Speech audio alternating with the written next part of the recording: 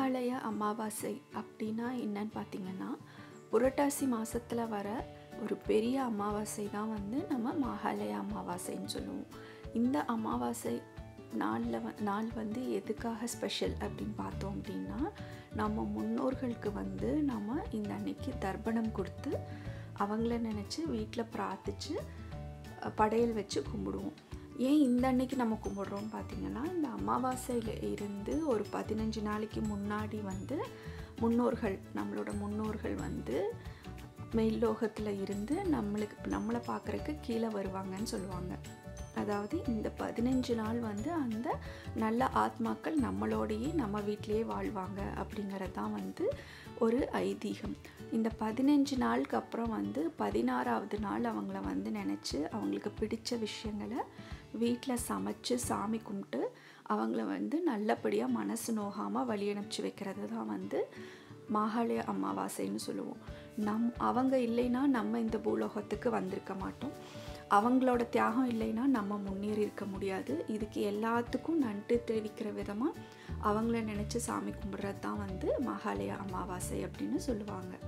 எங்கள் வீட்டில் நேற்று அதாவது செப்டம்பர் பதினேழாம் தேதி வந்து எங்கள் முன்னோர்களுக்கு வந்து நாங்கள் சாமி கும்பிட்டோம். அதாவது படைப்புகள் எல்லாம் போட்டு அவங்களுக்கு பிடித்த சாதம் இதெல்லாம் வந்து சமைச்சு நாங்கள் வெஜிடேரியன் தான் செய்யணும். இந்த புரட்டாசி மாதமே வந்து வெஜிடேரியனுக்கு தான் ஸ்பெஷல் அவங்களுக்கு பிடித்த வகையான சாம்பார் ரசம் பாயசம் வடை எல்லாமே வச்சு கும்பிட்டு அதே மாதிரி அவங்க யூஸ் பண்ண விஷயங்கள் எங்கள் தாத்தாவோட கண்ணாடி அவர் சுருட்டெல்லாம் குடிப்பாங்க.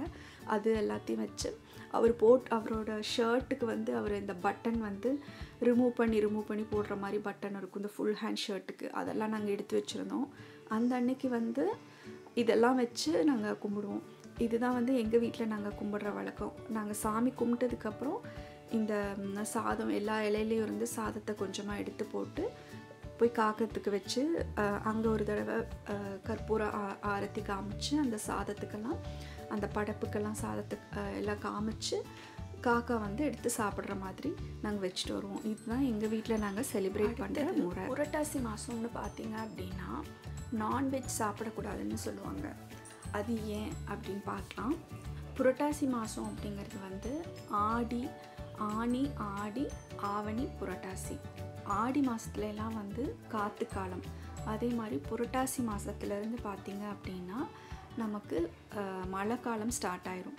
இப்போ பார்த்திங்கன்னா வெயிலோட தன்மை வந்து கம்மியாக தான் இருக்கும். ஆனால் காற்று காலத்தில் இருந்த வெப்பத்தை வந்து இங்கே புரட்டாசி மாதத்தில் வர மழை வந்து தணிக்கிறதுக்கு பார்க்கும். இப் இந்த டைமில் வந்து ஃபுல்லாக வந்து சூடு தணியாது. அப்போ என்னாகும் அப்படின்னா நம்மளுக்கு மே ஜூன் ஏப்ரல் மே ஜூனில் இருக்கிற ஹீட்டை விட இந்த மாதத்தில் வந்து ஹீட் ஜாஸ்தி ஆகிடும் பூமியோட வெப்பம் வந்து ரொம்ப ஜாஸ்தியாக இருக்கும். அதே மாதிரி நம்ம உடம்போட சூடும் வந்து ஜாஸ்தியாக இருக்கும்.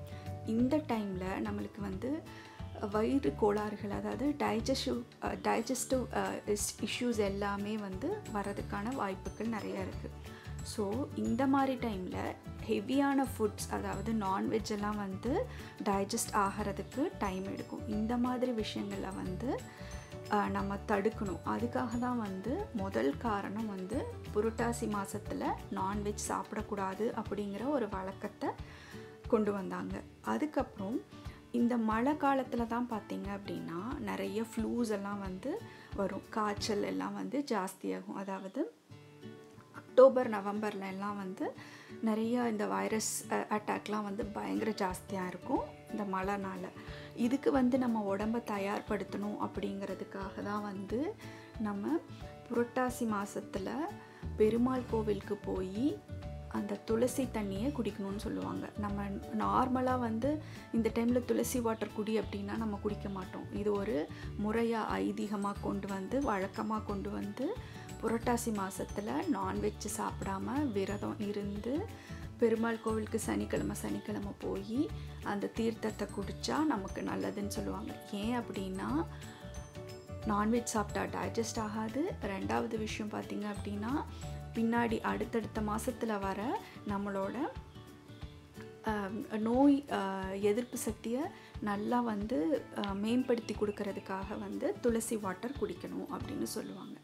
ஸோ ஒவ்வொரு ஒவ்வொரு விஷயத்துக்கும் ஒவ்வொரு முறையிலையும் வந்து ஏதாவது ஒரு சயின்டிஃபிக் ரீசன் அமைஞ்சிருக்கு. நம்ம வந்து சர்வசாதாரணமாக நம்மளோட முன்னோர்களை வந்து எடை போட்டுற முடியாது. ஒவ்வொரு விஷயம் வழக்கத்துக்கு பின்னாடி ஒரு சயின்டிஃபிக் ரீசன் இருக்குது இதுதான் ஏன் புரட்டாசி மாதத்தில் வந்து நான்வெஜ் சாப்பிடக்கூடாது? ஏன் பெருமாள் கோவிலுக்கு போகணும்? துளசி தண்ணியை குடிக்கணுங்கிறதுக்கான ரீசன் என்ன ஃப்ரெண்ட்ஸ் நான் இன்றைக்கி சொன்ன ரெண்டு விஷயங்களும் மகாலய அமாவாசை எதுக்கு கும்பிடுறோம்? ஏன் நான்வெஜ் சாப்பிடக்கூடாதுன்னு சொன்ன விஷயமும் வந்து உங்களுக்கு பிடிச்சிருக்கும்னு நினைக்கிறேன். லிசன் பண்ணுங்கள் உங்கள் ஃப்ரெண்ட்ஸ்க்கும் ஷேர் பண்ணுங்கள் தேங்க்ஸ் தேங்க்ஸ் ஃபார் வாட்சிங் my video thank you friends bye